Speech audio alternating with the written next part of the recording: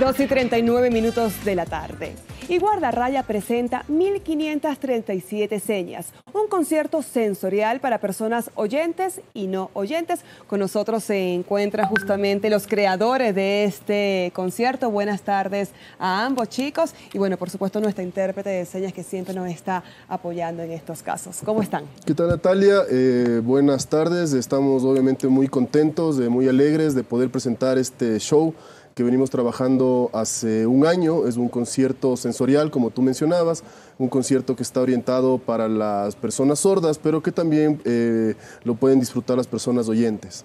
Okay. ¿Y cómo va a ser la dinámica de este concierto? Justamente para que pueda ser disfrutada por personas con discapacidad auditiva o, o no. O sea, básicamente es un concierto normal, o sea, la persona eh, que escucha va a presenciar el concierto de guardarraya, pero con un aditamento adicional eh, especial que es todo el tema sensorial, eh, que es lo que está orientado para las personas que no escuchan. Por ejemplo, hay técnicas como las del globo, se les va a dar un globo a todas las personas que van porque a través del globo pues, ellos pueden sentir las vibraciones eh, de la música como tal. Hay un tema de ecualización, de que los bajos estén más altos, también por un tema vibratorio.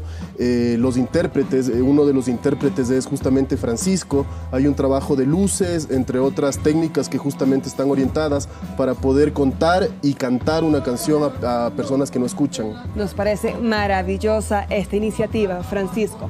Conversanos, tú vas a ser el, que va a dar la intérprete de, de señas, ¿no? Entonces supongo que vas a estar proyectado en una pantalla para que todas las personas eh, puedan ver mm. justamente el lenguaje y saber de qué trata las canciones. Bueno, ya te va a contestar él, pero ellos no van a estar en pantallas, van a estar al frente, o sea, ellos van a ser los cantantes. Y todos van este a poder apreciar. Y todos los, van a poder apreciar. se va a reforzar con pantalla, sí, pero bueno, ahí te cuenta él. Bueno, sí, es verdad. Eh, primero, buenas tardes. Ahora, bueno, quisiera, la verdad es importante eh, explicar un poco de esto porque las personas van a sentir, van a pasar por un concierto, pero obviamente los oyentes van a escucharlo, van a cantar, pero las personas sordas que están por atrás, por ejemplo, ¿cómo van a poder percibir? Con la intérprete, obviamente, también con la parte sensorial que te explicó anteriormente Álvaro, va a ser un poco más claro, vamos a estar los intérpretes parados frente a ellos, va a ser mucho más claro no como tal vez un poco, eh, hasta para que sientan bien el concierto, ¿no? Para que disfruten del concierto. Las personas, la comunidad sorda, la verdad está muy identificada con ese concierto. Sí, justamente te iba a preguntar eso. ¿Cómo te sientes al ser parte de un concierto totalmente inclusivo y bastante novedoso, desafortunadamente, en el país, pero que bueno, ustedes están introduciendo? Bueno, la verdad, eh, yo me siento súper emocionado, súper emocionado, súper feliz. Jamás pensé, jamás pensé, la verdad agradezco bastante por la oportunidad que me dan, por la oportunidad de participar con mi identidad, de todo Quito y de muchas personas que nos identificamos como comunidad sorda, ¿no? la capacidad que tenemos de teatro, de mimo, de muchas cosas que podemos las personas sordas.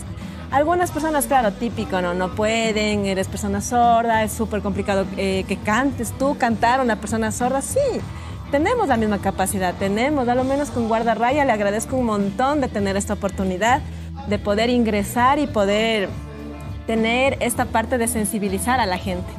Sí, como tú dices, la limitación está nada más en la cabeza de cada uno de nosotros porque efectivamente pues tú te conviertes en, en cantante a partir de, hoy, cosa que te felicitamos y que nos llena de orgullo a todos. Y ustedes de verdad que tuvieron una iniciativa bastante creativa en unir justamente este dos, tipos de conciertos, pero es bastante novedoso en toda Latinoamérica, no solo en Ecuador. Eh, sí, eh, la verdad todo esto comenzó porque la otra intérprete, porque son dos, Jennifer Benítez eh, y Francisco Catagua, aproximadamente como hace un año se me acercó eh, a pedirme permiso para traducir una canción que es de mi autoría.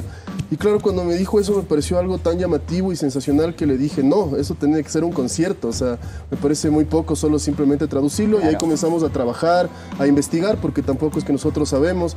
Y este es un punto de partida, o sea, es eh, como, no un piloto, porque este ya es el concierto como tal, ya hemos hecho otros pilotos, pero no dejamos de aprender y la idea es mejorarlo y llevarlo ojalá a diferentes ciudades del Ecuador y de Latinoamérica y el mundo. O sea, en eso estamos eh, enfocados. Así es, y ustedes tienen una preparación además bastante importante porque me dices que desde hace un año atrás han estado justamente ensayando con los chicos, entre ustedes, me imagino que midiendo los niveles justamente de, los bajos para ver qué tanto se puede proyectar en el escenario. ¿Cómo ha sido todo ese O sea, sobre todo el tema técnico, o sea, las técnicas que existen, porque obviamente no es que estamos descubriendo el agua tibia, eh, ya ha habido experiencias en el mundo en este sentido, y justamente ese ha sido el trabajo de investigar, ver qué, recursos se pueden eh, utilizar, eh, cuáles están al alcance de nuestras posibilidades, y ahí salió, como te explicaba, lo del globo, por ejemplo, que es increíble. Te tengo que confesar que es algo tan emotivo que a mí me ha costado cantar literalmente, porque verles con el globo abrazado y las expresiones que hacen.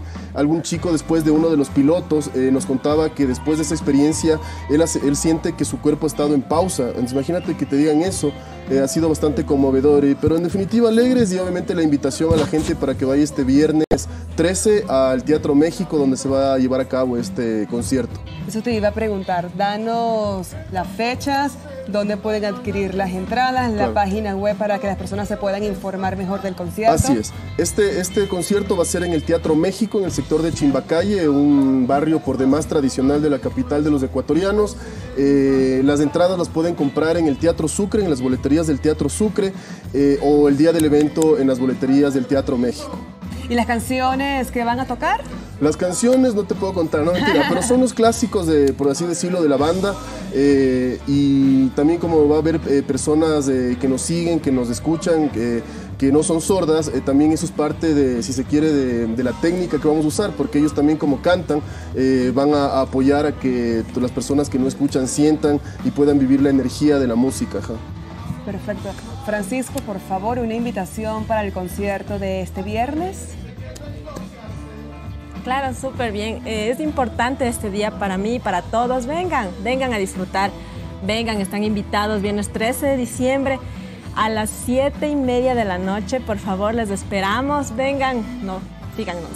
Va a ser un gusto porque además qué linda experiencia esto de un concierto sensorial. Amigos, hacemos una pausa y ya regresamos con más de HQH. Muchísimas gracias.